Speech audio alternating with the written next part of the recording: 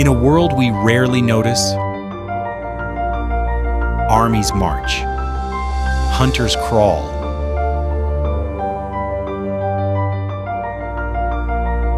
and killers wait inches away. Here, survival is ruthless. And power comes in the smallest forms.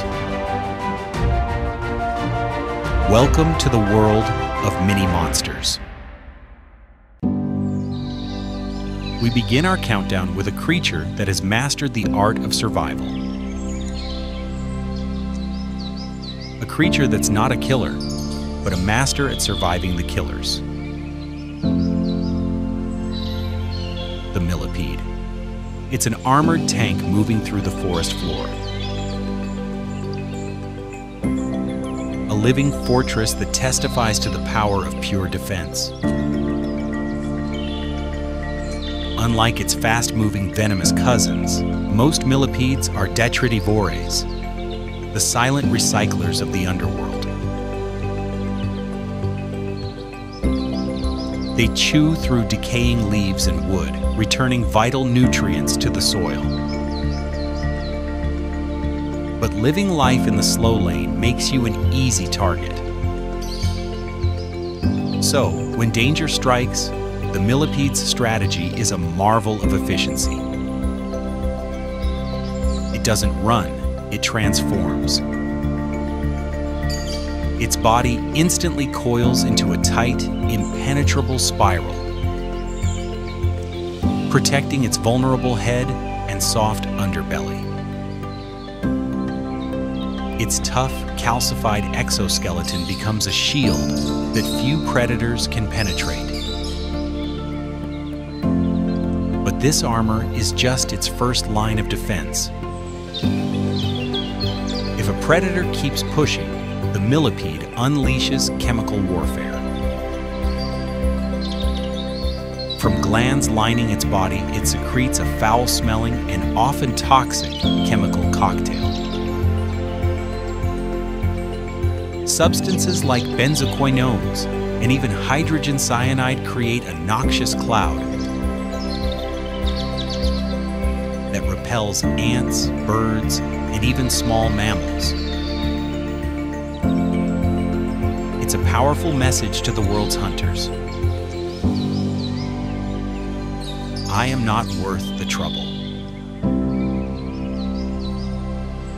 In the brutal economy of nature, the millipede survives not by killing, but by making itself too costly to be killed. From a master of defense, we turn to a predator that is never, ever alone. A single ant is a soldier, a colony is an army. Alone, an ant is a marvel of biological engineering. But together, they form a superorganism.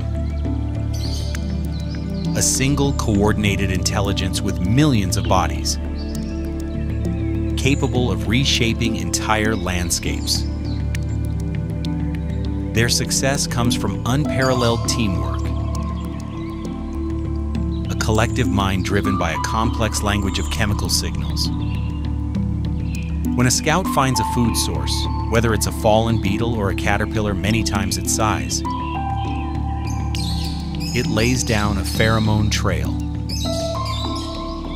Within minutes, that trail becomes a highway of relentless hunters. This isn't just a chaotic mob, it's a calculated assault. Some ants pin the prey's legs, others attack its head, while soldiers with powerful mandibles begin to dismember the victim. Their combined strength lets them overwhelm creatures that a lone predator would never dream of challenging.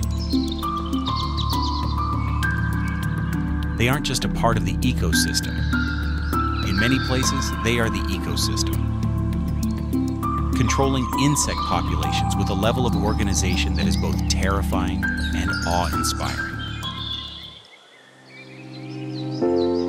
While ants overwhelm with numbers, our next predator is both an artist and an executioner.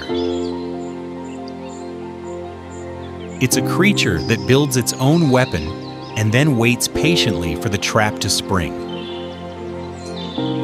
This is the spider. For millions of years, they've perfected the art of the ambush, turning simple silk into one of nature's most effective traps. Classic orb web is an engineering masterpiece. A matrix of non-sticky scaffolding threads and a spiral of sticky capture threads to ensnare prey. The spider often waits at the edge of its web, one leg resting on a signal line. It may be blind to the world, but it can read every single vibration in its silken universe. When a fly or a bee blunders into the web, its frantic struggles send a tremor down the signal line. The message is clear dinner has arrived. The spider dashes out, its movements precise and economical. It doesn't need to see its prey, it feels its exact location through the web. Final act is swift and merciless. Using its venomous fangs, known as chelicerae, the spider delivers a neurotoxin that paralyzes the victim almost instantly. The struggle stops. Its components help to liquefy the prey's internal tissues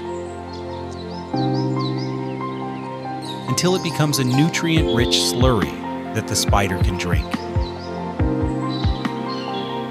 It's a brutal, efficient process. Proof of a predator that has mastered architecture, patience, and poison.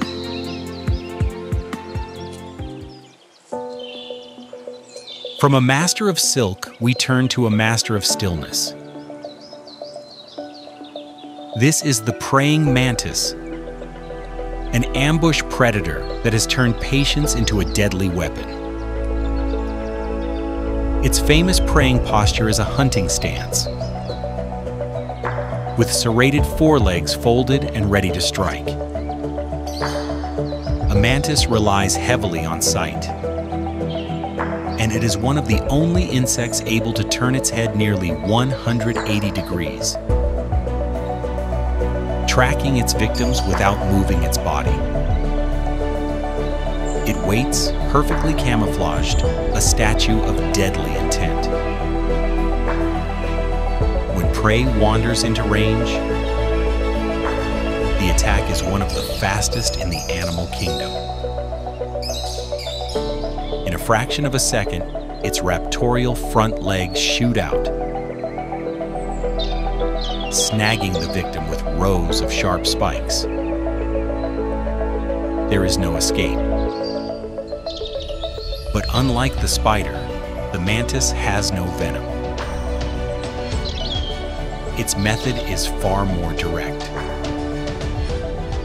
Gripping its struggling victim, it simply begins to eat it alive, often starting with the head. It's a chilling display of efficiency. A predator that doesn't need poison when its grip is absolute and its mandibles are relentless. Our next killer belongs to one of the most diverse groups of animals on Earth. They are the living tanks of the insect world, the beetles. Their defining feature is their hardened front wings, called elytra, which act as a formidable shield, protecting them from both predators and the elements. But this armor doesn't just serve defense, it allows them to barge through dense undergrowth and soil in relentless pursuit of prey. Predatory beetles are a varied guild of hunters. Ground beetles are tireless pursuers, patrolling the forest floor with powerful, clamping mandibles. Rove beetles are fast, flexible killers that wriggle into tight spaces, often holding their abdomens aloft like scorpions. And some, like the ladybug, are specialized assassins dedicated to devouring pests like aphids. Their primary weapons are their powerful mandibles, which they use to crush, cut, and dismember their victims. Beetles prove that sometimes the best offense is a good, impenetrable defense. These mini monsters operate with a brutal efficiency that's hard to wrap your head around.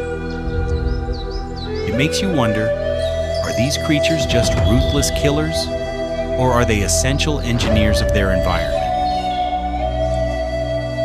Let us know what you think in the comments below. Subscribe now and join the X-Plorer family. Thanks for watching, and we will see you in the next one.